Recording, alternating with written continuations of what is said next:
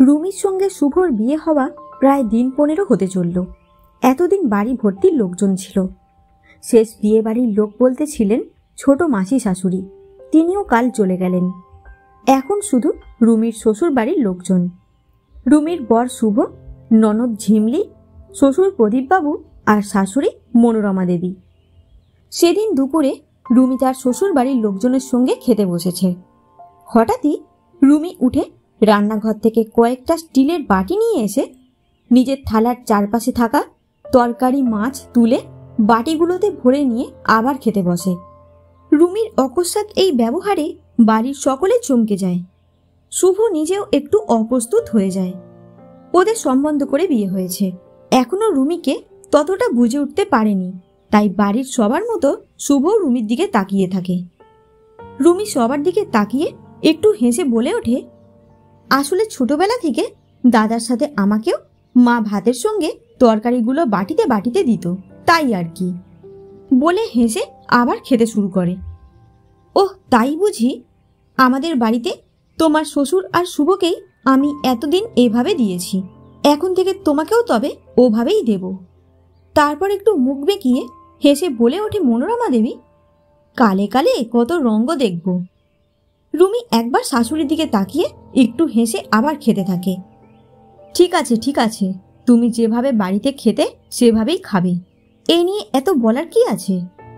নিশ্চয়ই বৌমা, আমারও সেটাই কথা, যেমনটি শুভ এখনই বলল। তুমি তোমার বাপের বাড়িতে যেভাবে কাটিয়েছ, ঠিক সেভাবেই এখানেও থাকবে। রুমি শুভ আর শ্বশুরের দিকে তাকিয়ে একটু মাথা নাড়ে। রুমি মানে রুমকিরা এক ভাই, এক বোন। বাবা ব্যাংকে চাকরি করে মা গৃহবধূ। সাধারণ মধ্যবিত্ত ঘরের মেয়ে রুমি।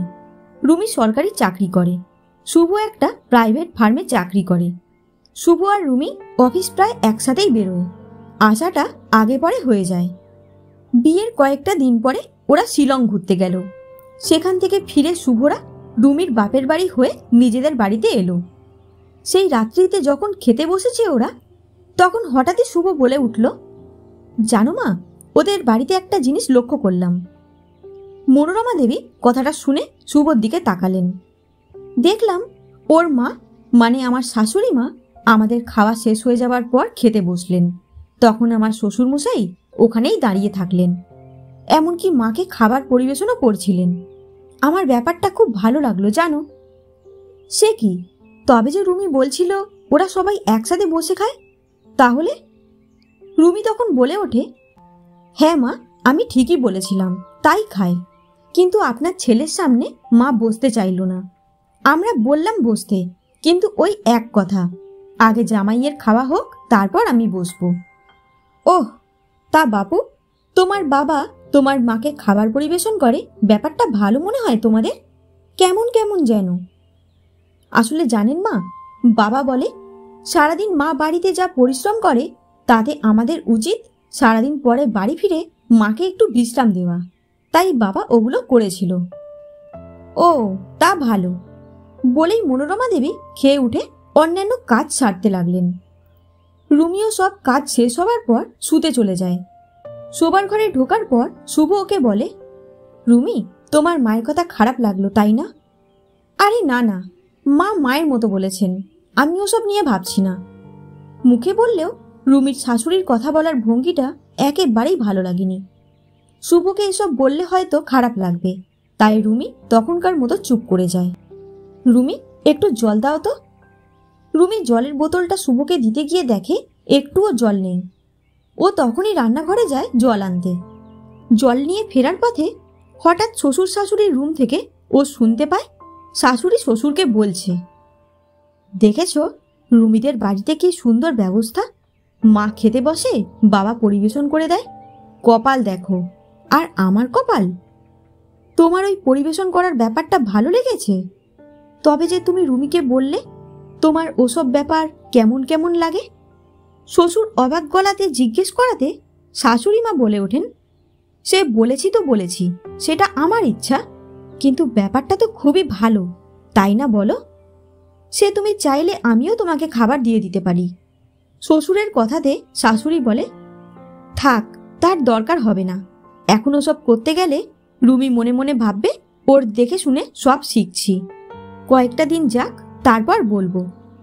রুমি শাশুড়ির দরজার কাছ থেকে তাড়াতাড়ি নিজের শোবার ঘরের দিকে যায়। যেতে যেতে মনে মনে হাসে। সে মাসে রুমি প্রথম মাইনেতে বাড়ির সবার জন্য দই কিনে বাড়িতে এলো। শাশুড়ি সেটা দেখে জিজ্ঞেস করল, কি এটা?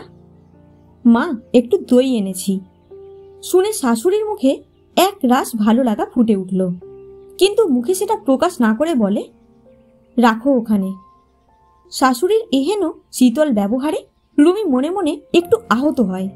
জানে রুমি শাশুড়ির দই পছন্দ, তাই তো সে এনেছে। তবে কেন এমন ব্যবহার?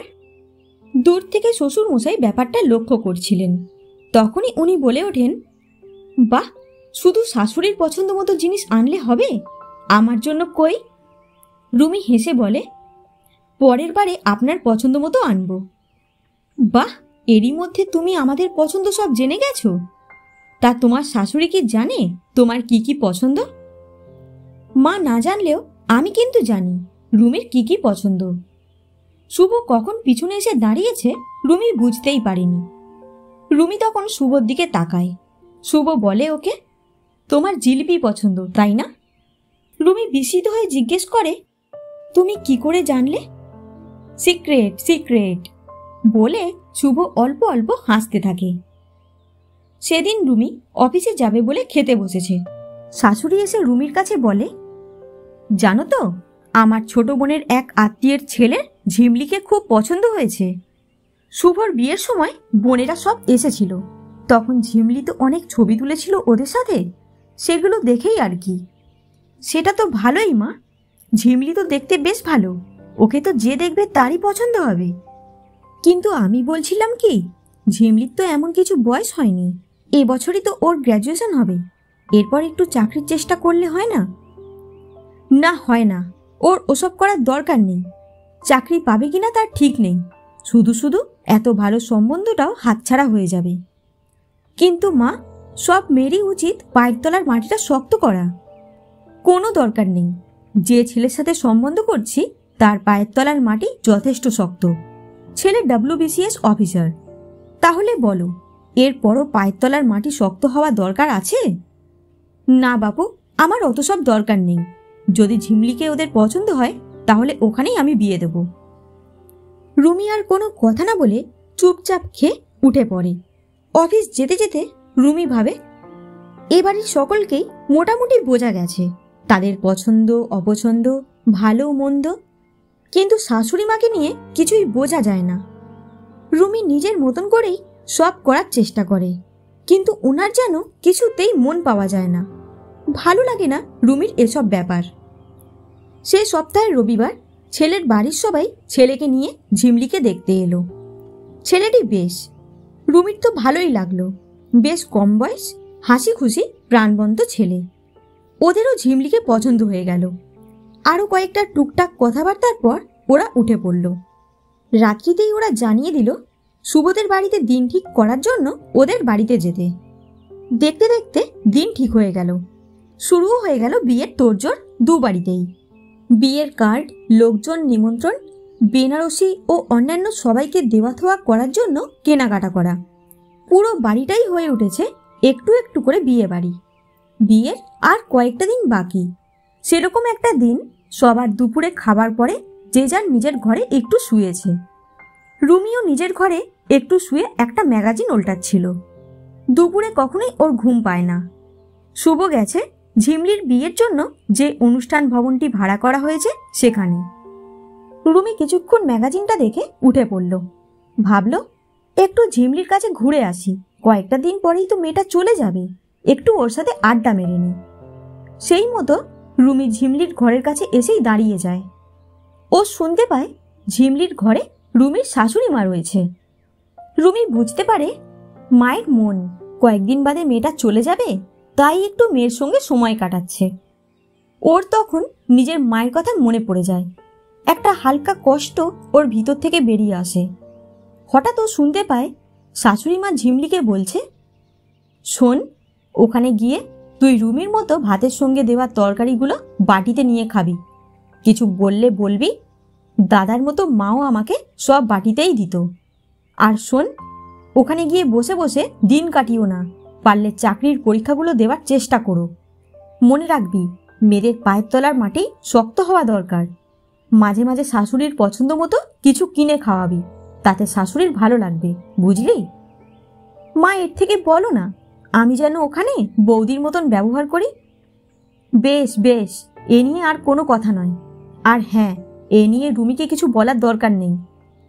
কেন, বললে কি হবে? আর তোমার তো দেখছি বৌদিকে ভালোই পছন্দ। না হলে বৌদির শেখা জিনিসগুলো আমাকে করতে বলো। রুমিকে আমার পছন্দ নয়, কে বলেছে তোকে? রুমি খুবই ভালো মেয়ে। ওকে আমার ভালোও লাগে খুব। কত সুন্দর সহবত জানে। কত তাড়াতাড়ি ও এ বাড়ির সবার পছন্দ অপছন্দ জেনে নিয়েছে।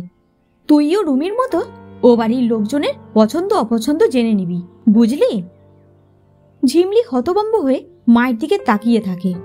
দরজার বাইরে ঠিক ঝিমলির মতো হতবম্ব হয়ে আরেকজনও দাঁড়িয়ে থাকে।